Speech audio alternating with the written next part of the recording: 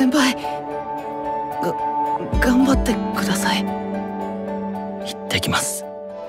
今この間の滑らない方の漫画貸して。はい。お見舞い行こうぜ。そばにいるだけでも嬉しいと思う。マジで付き合ってんの？恋バナの気配がしたから。来ちゃった。